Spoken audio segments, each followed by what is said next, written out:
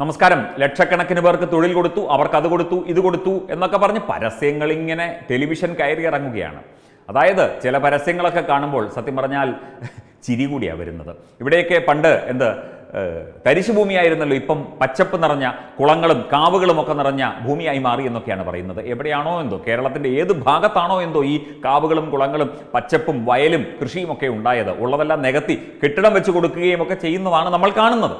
പിന്നെ തൊഴിലില്ലായ്മ. ഇപ്പോൾ പി എസ് സി സമരമൊക്കെ വലിയ ചർച്ചാ വിഷയമായ ഈ ഒരു സമയത്ത് P S C rank holders അസോസിയേഷന്റെയൊക്കെ സമരം.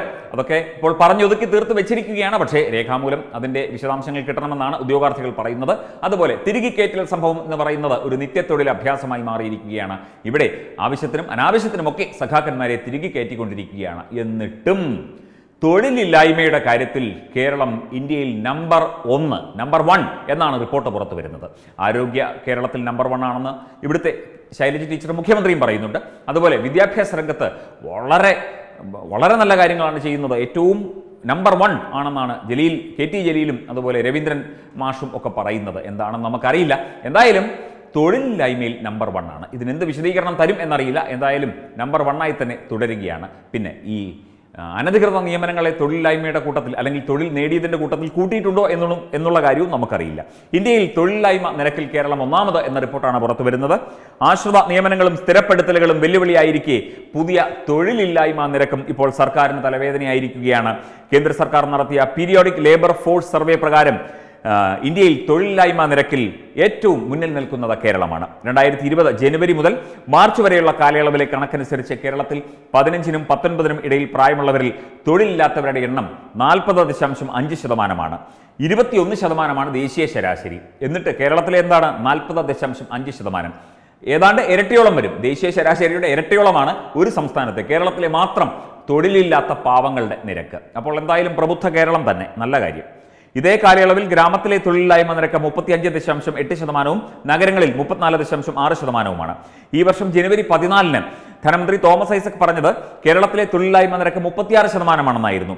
ഇതും ദേശീയ ശരാശരിയേക്കാൾ ഇരട്ടിയാണ് പതിനേഴ് ശതമാ- ശതമാനമാണ് ദേശീയ ശരാശരി.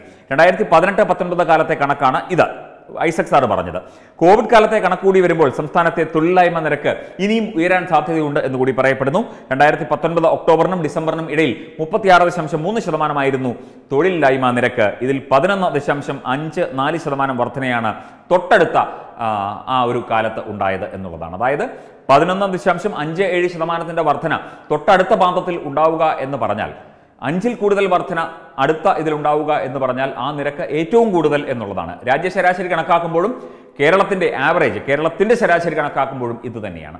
എന്നിട്ട് ഇവിടെ കിടന്ന ആയിരക്കണക്കിന് ആളുകൾക്ക് ഞങ്ങൾ തൊഴിൽ കൊടുത്തു. ലക്ഷക്കണക്കിന് പേരെ പി എസ് സിയിലൂടെ നിയമിച്ചു. അത് ചെയ്തു ഇത് ചെയ്തു. സ്വകാര്യ സംരംഭങ്ങൾ തുടങ്ങി. സ്വകാര്യ സംരംഭങ്ങളിലൂടെ യുവാക്കൾക്ക് തൊഴിൽ കൊടുത്തു അത് കൊടുത്തു ഇത് കൊടുത്തു. ഇവിടെ തൊഴിൽ കൊടുത്തത് ആർക്കൊക്കെയാണ്? സ്വപ്ന സുരേഷിന് തൊഴിൽ കൊടുത്തു. അതാണ് ആകെ കൊടുത്ത തൊഴിൽ. പിന്നെ സ്വപ്ന വഴിയും അതുപോലെ സീഡിറ്റ് തുടങ്ങിയ മേഖലകളിലും ഒക്കെ ഒരുപാട് പേരെ തിരികെ കയറ്റി. പിന്നെ പറഞ്ഞ പറഞ്ഞ പണം വാങ്ങി പലരെയും പലയിടത്തായി നിയമിച്ചു. സഹകരണ ബാങ്കുകളിൽ ഒരുപാട് പേരെ തള്ളിക്കയറ്റി. സഖാക്കന്മാരുടെ സഹധർമ്മിണിമാരെയും സഹോദരിമാരെയും ഒക്കെ വിവിധ സർവകലാശാലകളിൽ അസിസ്റ്റന്റ് പ്രൊഫസർമാരായി ഒക്കെ നിയമിച്ചു. ചിലർക്കൊക്കെ നിയമനം കിട്ടി ചിലതൊക്കെ പ്രശ്നമായിട്ട് ഇപ്പോൾ വേണ്ടെന്ന് വെച്ചിരിക്കുകയാണ് അല്ലെങ്കിൽ അത് മരവിപ്പിച്ചിരിക്കുകയാണ്. ഇവർക്കൊക്കെ നിയമനം കൊടുത്തിട്ടുള്ളൂ ഇവിടെ പാവങ്ങൾക്കും തൊഴിലില്ലാത്ത പാവ പാവം പിടിച്ച വ്യക്തികൾക്കും ഒന്നും കൊടുത്തിട്ടില്ല. പിന്നെ എന്തെങ്കിലും യുവാക്കളൊരു സ്വന്തമായ ഒരു സംരംഭം തുടങ്ങണം എന്ന ആഗ്രഹിച്ചു വന്നു കഴിഞ്ഞാൽ അവരെ മുട്ടാപ്പൊക്ക് ന്യായം പറഞ്ഞ് മുടക്കുകയും അവരുടെ തലയിൽ കയറുകയും ചെയ്യും. നമ്മൾ അറിയാമല്ലോ പ്രവാസി വ്യവസായികളൊക്കെ അനുഭവിക്കുന്ന ബുദ്ധിമുട്ട് നമുക്കായിട്ട് അറിയാം.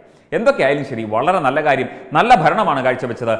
തൊഴിലില്ലായ്മ നിരക്ക് ഇന്ത്യയിൽ ഒന്നാമത് പ്രബുദ്ധ കേരളത്തിൽ. എന്നാലോ വിദ്യാഭ്യാസ രംഗത്ത് വലിയ റെക്കോർഡും കാര്യങ്ങളുമുള്ള സംസ്ഥാനമാണ്. ഇവിടെ വിദ്യാഭ്യാസം മാത്രമേ ഉള്ളൂ തൊഴിൽ ഇല്ല എന്നുള്ള ഒരു ധാരണയിലേക്ക് കാര്യങ്ങൾ എത്തിക്കൊണ്ടിരിക്കുകയാണോ? നമുക്കറിയില്ല. ഇവിടെ യൂണിവേഴ്സിറ്റികളുടെ എണ്ണം നോക്കുകയാണെങ്കിലും കോളേജുകളുടെയും ആർട്സ് ആൻഡ് സയൻസ് കോളേജുകളുടെയും പ്രൊഫഷണൽ കോളേജുകളുടെയും എണ്ണം നോക്കുകയാണെങ്കിലും ഒക്കെ തന്നെ ഓരോ മുക്കിനും മൂലയിലുമുണ്ട് ഈ സംഭവങ്ങളെല്ലാം.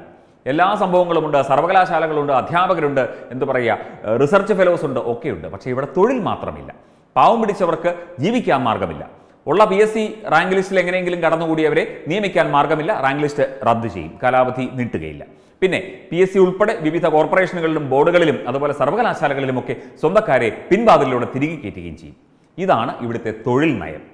തൊഴിൽ എന്ന് പറഞ്ഞാൽ തൊഴിൽ നയം എന്ന് പറഞ്ഞാൽ ഇതായിരിക്കണം. കേരള സർക്കാരിന്റെ തൊഴിൽ നയം. ഇവിടെ പാവപ്പെട്ടവൻ ജീവിച്ചാൽ എന്താണ്? എന്ത് സംഭവിച്ചാൽ എന്താണ്?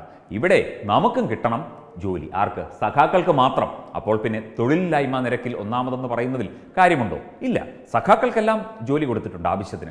സഖാക്കന്മാരുടെ മാത്രം പട്ടിക എടുക്കണം. എന്നിട്ട് ചോദിക്കണം. അപ്പോൾ ചിലപ്പോൾ തൊണ്ണൂറ്റി ഒമ്പത് ശതമാനമോ നൂറ് ശതമാനമോ അല്ലെങ്കിൽ തൊണ്ണൂറ് ശതമാനത്തിന് മുകളിൽ ഉറപ്പായിട്ടും വരും.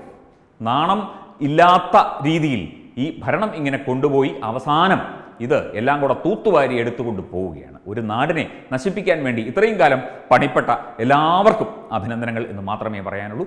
യുവജനതയല്ല ആര് കഷ്ടപ്പെട്ടാലും ഇവിടെ ആർക്ക് ഉത്തരവാദിത്വം ആർക്ക് ഛേദം ഒന്നുമില്ല. Web desk Tatwamayi news.